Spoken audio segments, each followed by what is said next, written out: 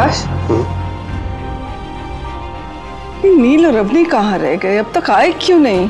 बेबे नील का फ़ोन आया था। वो कानूनी कार्रवाई में फंसा हुआ है। अमोल को भी पुलिस ने कस्टडी में लिया है। किसने सोचा था? अमोल ऐसा निकलेगा? पर ये तो रब की कृपा है कि जब हम सारी उम्मीदें छोड़ बैठे थे तो उसने दयावंती कांत किया। अमोल ने अवनी की जान बचाकर सारी गलतियों का प्राश्चित एक साथ ही कर डाला बेबे हाँ।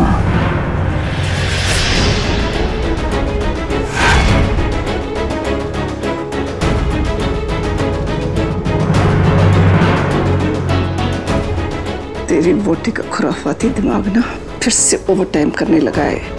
इस बार अगर अपने को लेकर इसने कोई ऐसी वैसी हरकत की ना तो कह देती हूँ मैं तुझे, उसे छोड़ूँगी नहीं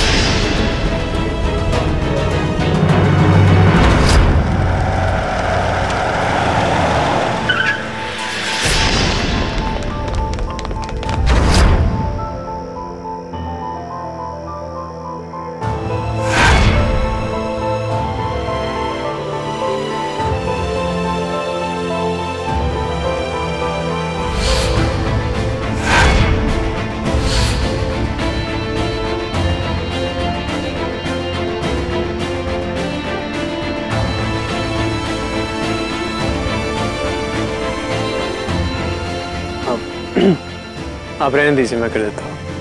थैंक यू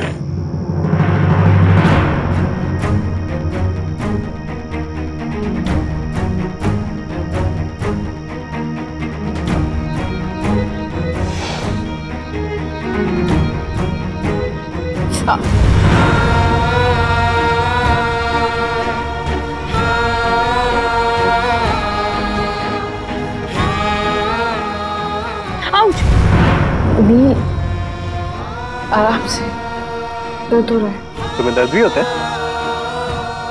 मुझे तो लगा तुम्हें दर्द वर्द होता ही नहीं है। क्योंकि अंदर तो तुम बहुत बड़ी बड़ी बातें कर रही थी। कि मुझे जीने का कोई हक ही नहीं है, मैं जीना नहीं चाहती, मरना चाहती हूँ, और पता नहीं क्या क्या जितना दर्द तुम्हें होता है ना, उससे सौ गुना, हज़ार गुना दर्द मुझे तब हुआ था जब तुम अंदर मरने की बात कर रही थी। जब तुम अंदर मरना चाहती थी तब मैं वही खड़ा था। सब देख रहा था। तुम मौत की तरफ़ आगे बढ़ गई थी और मैं हर पल मरता जा रहा था। तुमने अमोल के बारे में सोचा, अपने बारे में सोचा, और मेरे बारे में? मेरे बारे में कौन सोचता है? अब तुम्हारी ज़िंदगी में मेरी तो कोई वैल्यू नहीं है राइट नहीं नहीं, ऐसा बिल्कुल नहीं है। मैं कैसे समझाऊं तुम्हें? मैं तुम्हें बिल्कुल हर्ट नहीं करना चाहती, नहीं। उस दयावंती मेहता की बातें मुझे कील की तरह चुभ रही थी। और मेरा भाई अमन उसे ऐसी हालत में देख के मुझे लग रहा था कि मेरा जीना ही बेकार है। और जहाँ तक तुम्हारी बातें नहीं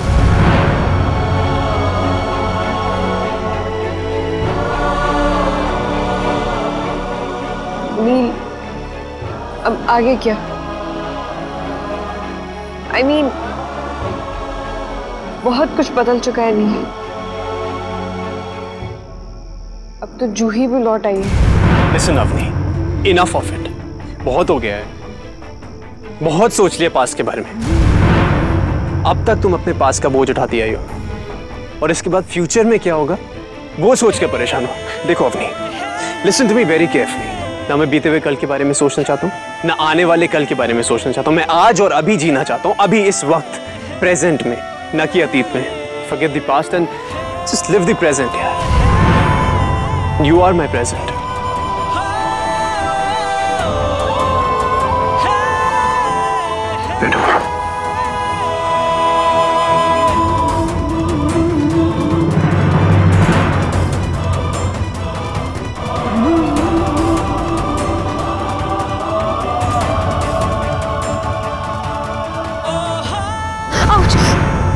sorry चलो हो गया। चलो क्यों? पोस्ट ट्रोमैटिक स्ट्रेस में है। मैंने इंजेक्शन दे दी है। बस आप टाइम टू टाइम मेडिसिन देते रहना। मुझे लगता है ट्रॉमा से निकलने के लिए उन्हें साइकेट्रिस्ट या काउंसलर की ज़रूरत पड़ेगी। जी। ध्यान रखिए। जी डॉक्टर मैं चलती हूँ। थैंक यू डॉक्टर बहुत बुरा हुआ बच्ची के साथ। लेकिन रब का लख लख शुक्र है कि ये बच तो गई। मुझे लगता है इसे यहाँ रखना ठीक नहीं होगा। क्यों बेबे? इसलिए कि जूही रंगमहल में थी। ये क्या बात हुई? आप तो इस तरीके की पुरानी सोच की नहीं हो बेबे। युवराज क्यों? तू मेरी सोच को गलत बोल रहा है? जो कुछ भी हुआ उसमें इस बेचारी बच्ची की क्या गलती? और नील की भी कोई गलती नहीं। हाँ प्रकाश जी। बेबे बिल्कुल सही कह रही हैं। अब नील की शादी हो चुकी है। वो अवनी से बेहद प्यार करता है।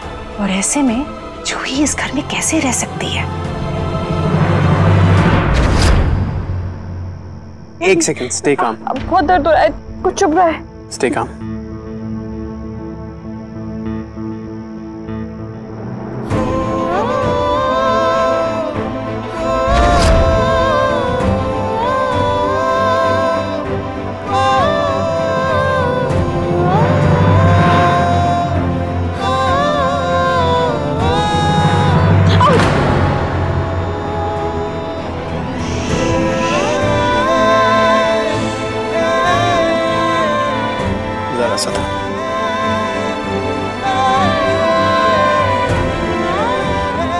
अभी हमारा आज हमारा प्रेजेंट इतना परफेक्ट है इतना खूबसूरत है ना मैं कल के बारे में नहीं सोचना चाहता।